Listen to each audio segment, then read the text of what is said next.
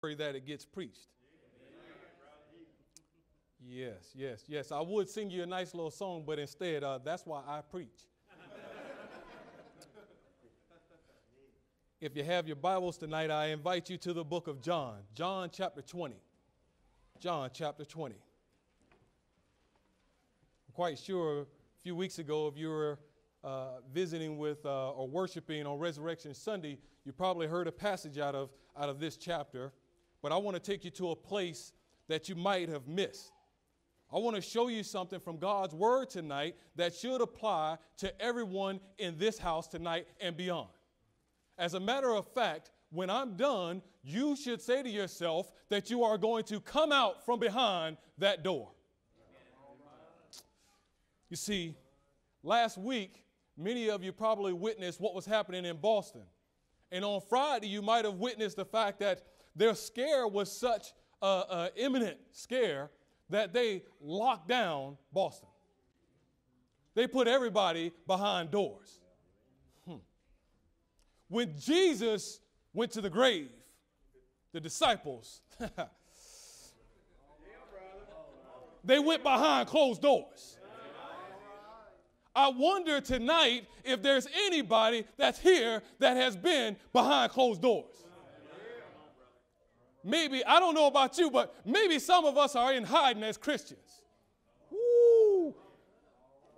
You haven't found yourself yet? We're about to go there. John chapter 20. Follow along with me as I read aloud the text, verse 19. The Bible says, Then the same day at evening, being the first day of the week, when the doors were shut, where the disciples were assembled for fear of the Jews, came Jesus and stood in the midst and said unto them, Peace be unto you. And when he had so said, he showed unto them his hands and his side. Then were the disciples glad. Then were the disciples glad when they saw the Lord.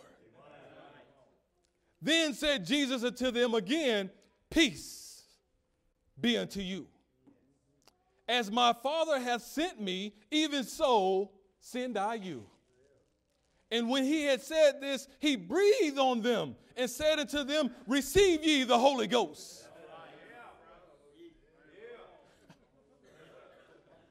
Receive ye the Holy Ghost. Whosoever sins ye remit, they are remitted unto him to them. And whosoever sins ye retain, they are retained. I see a door right there.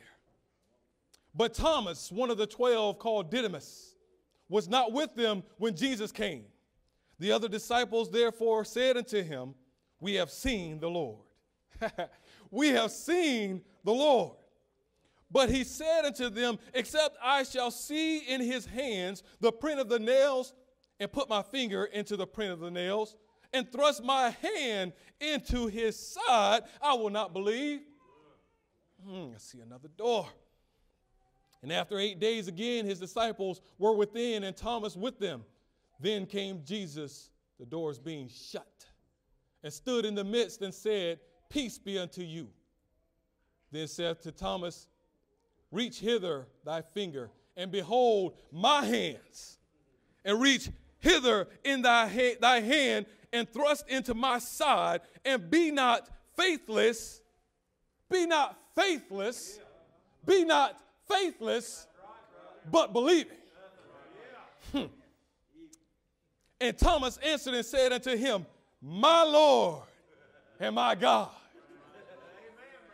My Lord and my God. Jesus said unto him, Thomas, because thou hast seen me, thou hast believed. Blessed are they that have not seen me and yet have believed. We are blessed because we have not seen and we believe. I don't know if you really understand the significance of what's happening here. Here are the disciples that walked with Jesus that are behind closed doors. They saw the miracles performed. They saw the crucifixion. They saw the burial, and now they're witnessing the resurrection, and they're behind closed doors. Where you at? Where are you at in your own life? I just wonder what doors you're hiding behind these days. Come on. As God continues to show himself right now, where you hiding at, Christians? Oh, you, you're, you're not hiding? I haven't heard from you. I haven't heard anybody going to the cause for Christ in this way anymore. As a matter of fact, I'd venture to say you've been on lockdown.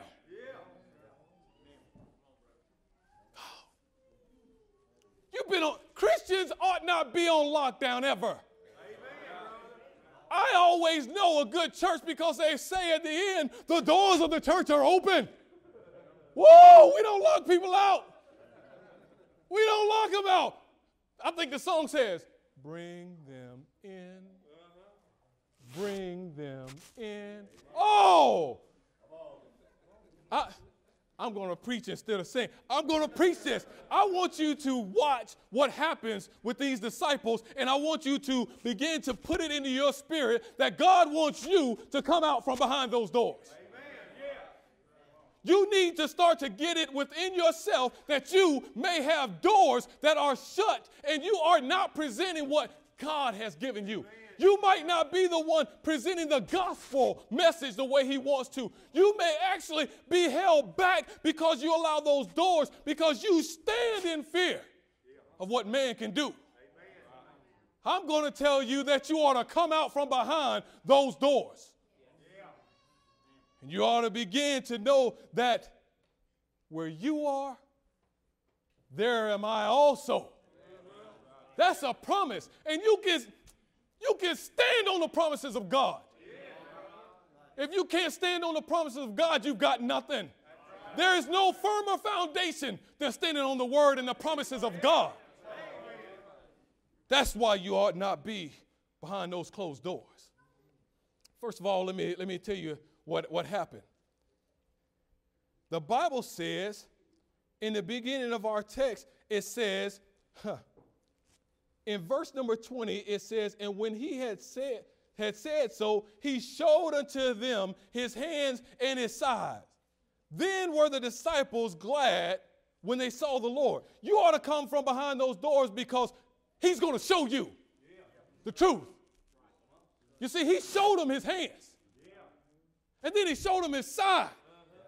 They didn't just identify him because they saw him.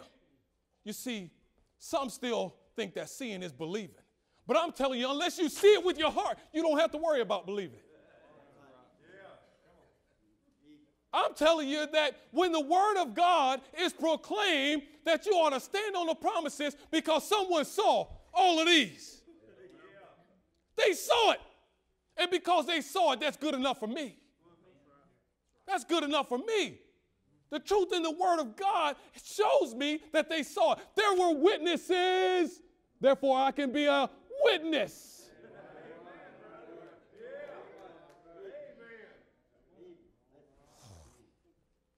He showed them. He showed them their hands. Many people blame Thomas because they say he was a doubting Thomas. They catch on to that story real quick. But I tell you that the disciples didn't believe. He had to show them. They didn't have the confidence. You don't have to worry about Thomas. You know why Thomas said, I don't believe unless I stick my own fingers in there and my own hand in there. You know why he said it? Because they were behind locked doors.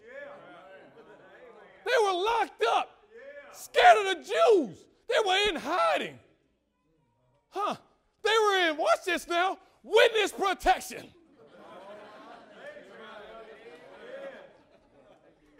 The witnesses were in protection. Thomas came and uh, listen, if Thomas wasn't there, I got to tell you, he's the only one wasn't scared out of the bunch because everybody else was hiding from the Jews. Thomas came and Thomas said, huh, y'all playing trick on me. April Fool. Still April. But Thomas wasn't no fool. He said, if you saw him, bring Jesus to me. I want to see him too. I want to see what you saw. I want to experience what you experienced. Thomas wasn't doubting. Thomas wanted a little bit of love from Jesus Christ. He said, Bring him, bring him in. If y'all saw him and you were locked up, I'm a free man. And I want to see him too. Mm. Jesus showed them, and therefore they could come from behind those closed and locked doors. You see, Jesus had to convince them also. He had to convince them that he was who he said he was. So Jesus, when he came, he greeted them. How did he get in? How did he get in? How did Jesus get in behind the locked door if they were hiding? Whoa! I'm telling you that Jesus can walk in. He can be where you are. He could be where you've been. He could be where you're going. I'm telling you that He doesn't need an admission. Whoa, no, no, no, no. What key does he need except a man say, Come, I'll receive you. Come unto me. You know what? I think that he could kick down the doors of your life and just be dancing a little bit in your life until you start feeling him, until you have courage until you feel that He has given you everything to go out and be a free witness. No more locked doors. No more locked doors. But I tell you that Jesus greeted them on three occasions. In verse 19, in verse 21, and in verse 26, He greeted them and He said, Peace be unto you. If I'm locked in, hiding, and scared from the Jews, and somebody comes in without having a key, without knocking, without having me open the door, they better say, Peace be unto me too, or I'm going to say, Peace to you. Watch out. Watch out. Woo! You don't have to tell me about being scared. I don't care how big a boy you are. Time to go. Somebody is on the other side of this locked door. But Jesus said, Peace be unto you. He had to rest assure them, he had to tell them everything's going to be okay. It's me. Because they knew how they greeted one another. I felt at home today because when I walked through those doors, hey, brother, glad to have you, brother. You greeted me in love. And therefore, I belong. Jesus wanted them to know the same. Now, this is where it gets a little bit uh, difficult because you may have seen so much for so long. I'm going to show you something, hopefully, you've never seen before. I know you read your Bibles. I know that you've been to church. I know you grew up in it. I know you've done all these things.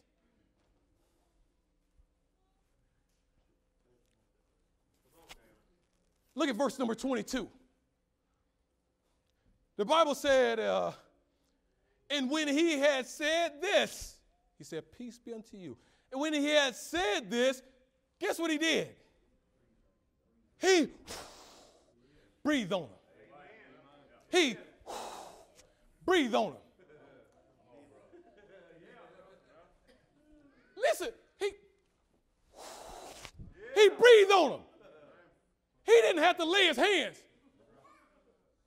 He didn't have to throw nothing. I'm telling you that mimic is the best form of flattery. You know why? Because his father did it. Turn, turn to Genesis chapter. Turn to Genesis chapter one. Genesis chapter one. Genesis chapter one. We're gonna we're gonna Boy, I tell you what, I hope my, I hope my son loves what I do. Anything that I do. If I catch him doing it, boy, I, I might just smile real big. Genesis 1 and verse number 26. Since everybody's got their handy dandy Bible with them, let's read that aloud. Genesis 1 26. Ready? Read.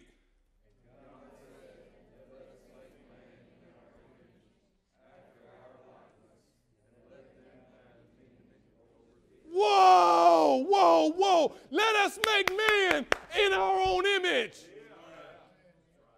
Us make man in our own image. All right. So now we got it. God created the heavens and the earth. He created every living thing, right? Now he says, let us make man in our own image. Mm-mm, that ain't enough. Go over to chapter number two. Turn to chapter two. Genesis chapter number two. Mm. Y'all about to catch this now.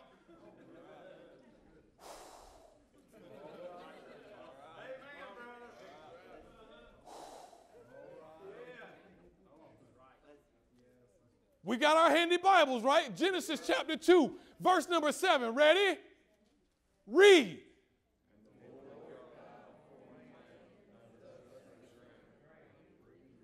Oh, oh, oh.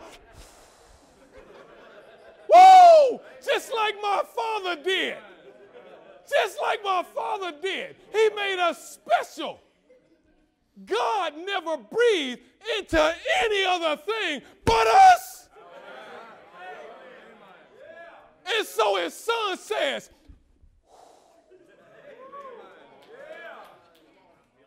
I want to breathe on you. Because that's going to give you more confidence to come out from behind those locked doors. He, oh, Oh, the Spirit. You ought to be excited, happy, and glad. You ought to be shouting his praise that Jesus wants to breathe the Holy Spirit on you.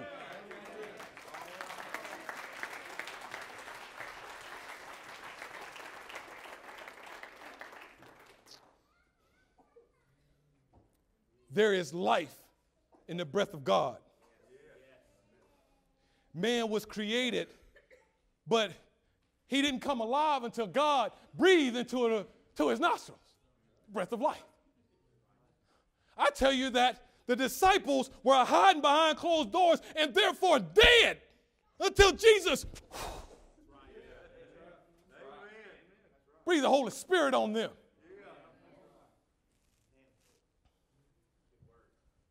When you find that you're behind locked and closed doors, I will guarantee you this you might not be breathing anymore. You might be holding your breath in fear. You might be holding your breath because behind one of your doors, it might be loss of job. So I'm hiding. I ain't going to work. I hear they might be cutting it. Might be laying off. I'm telling you, Christians, come out from behind those locked doors and just let Jesus. Woo! You can go to work tomorrow breathing a sigh of relief. Whoa, you can breathe. The Holy Spirit is on you. You've got all that you need. You ought to be.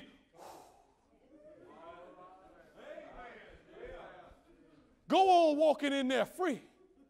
No more locked doors because you've got God. You've got Jesus. You've got the winning ways, the winning team. You got the magic formula, and you don't have to be behind locked doors no more stand on the firm foundation of Jesus Christ. Hmm. hmm. How about this? We realized that he, uh, he greeted them, realized that uh, he also breathed on them, he showed them, he breathed on them. You know what else he did?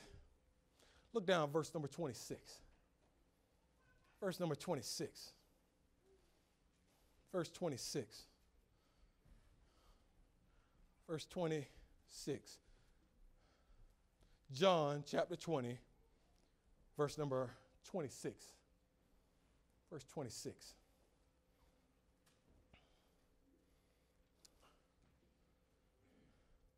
Listen to what the Bible says. The Bible says, and after eight days, again, where was his disciples? Oh, Oh, eight days later.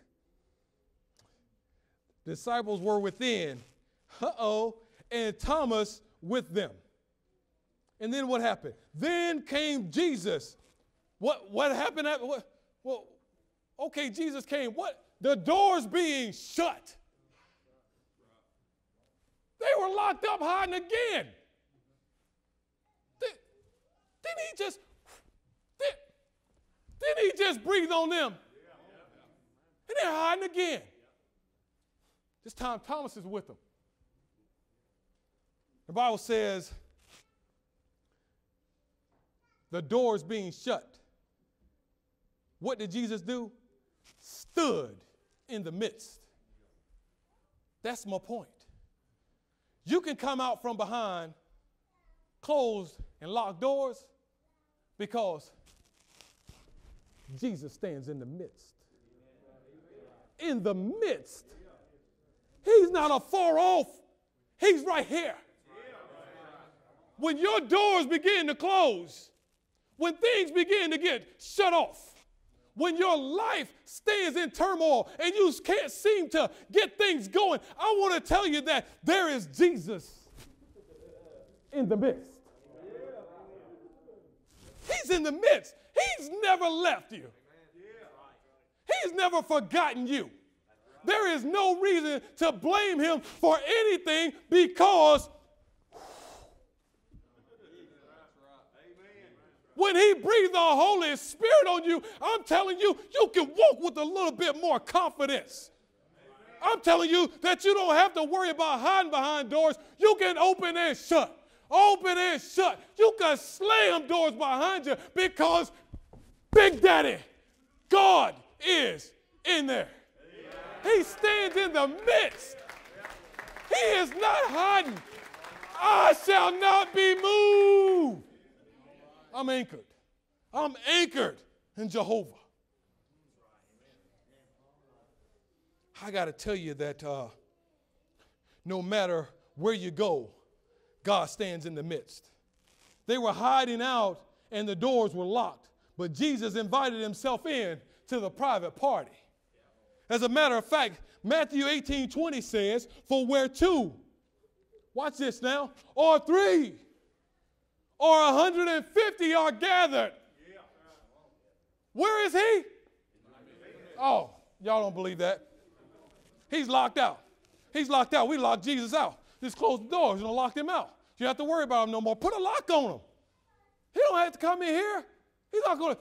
You believe the Spirit's in here? You believe you can catch something in? You do you? Do you believe that he can breathe something on you? There's no way. He can't come where you're at. He's not going to be in the midst. Well, maybe you are the doubting Thomas. Maybe it's you that's locked behind the doors. Maybe it's your life that won't stand for him.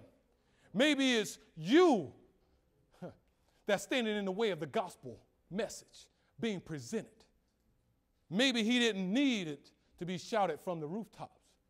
Maybe he didn't need it to necessarily be shouted out in stadiums.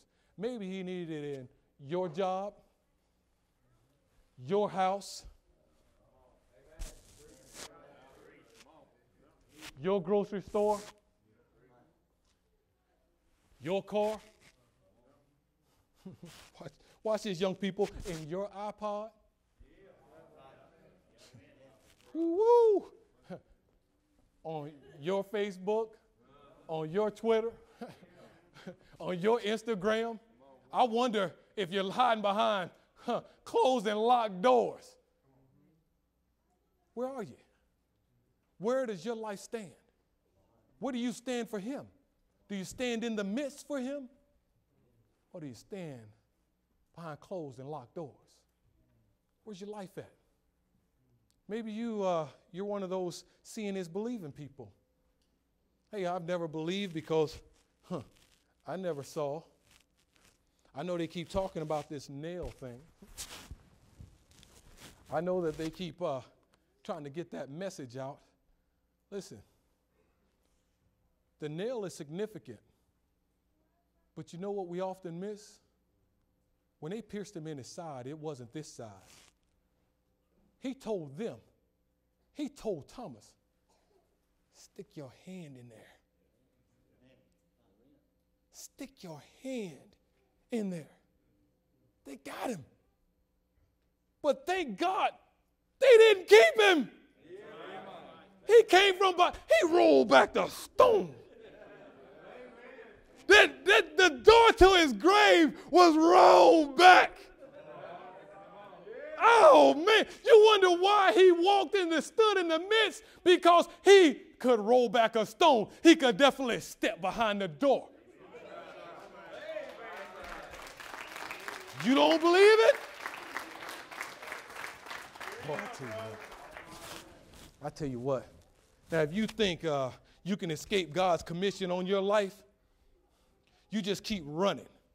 You just keep hiding and see if He doesn't uh, shake up your world. See if uh, you don't find yourself like Jonah. I don't want to do what God wants me to do. I'm going to run like Forrest. Woo, come here, Jonah. What you talking about, Jesus? He'll come and get you. He'll come behind your door. He'll come and find you where you've tried to lock him out. You had better believe he'll come and get you. He came and got Peter on the road. Just when he thought, I'm afraid of nothing, why persecutest thou me? It's hard to kick against the pricks. When God wants you, He'll come and get you. Key or no key, open or no open. I'm telling you that He can get in the midst when He wants to. I'm telling you that He'll chase you.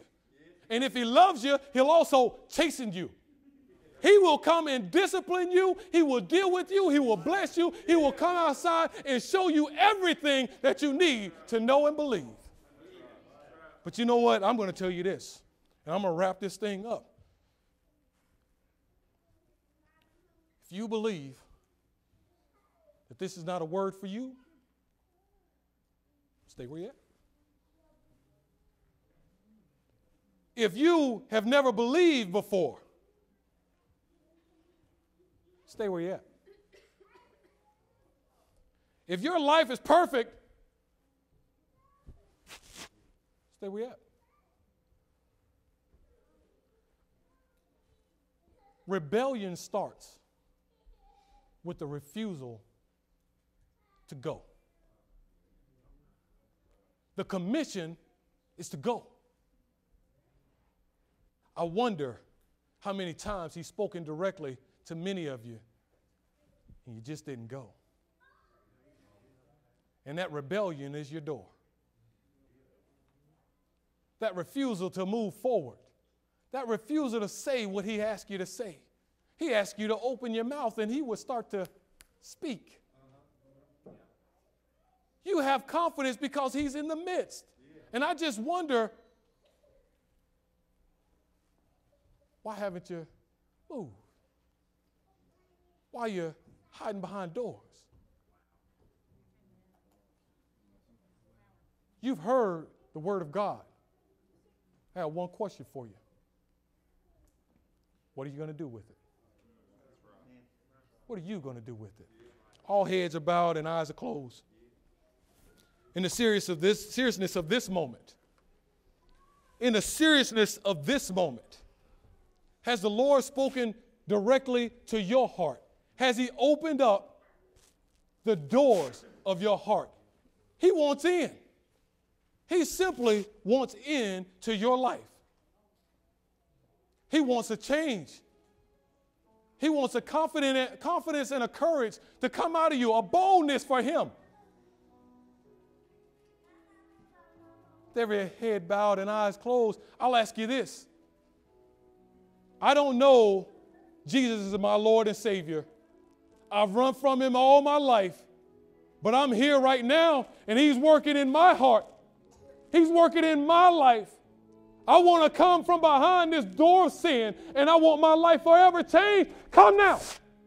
Come now. I want change.